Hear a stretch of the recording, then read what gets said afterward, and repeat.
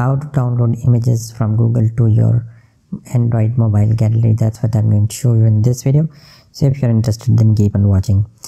For this trick would work on uh, Google Chrome browser. I'm not sure about the other uh, browsers but I would recommend that you download the Chrome browser if you do not have and then open the browser. Search for the image you want to download. Click images. Choose the image you want to download. Long press the image until the pop-up menu appears in which you will see the download image. Wait for the image to uh, download.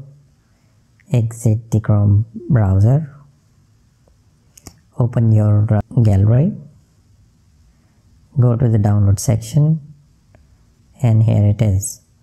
So that's how you can download the images from google to your android mobile. Gallery thank you for watching this video. If you like this video hit the like button share and subscribe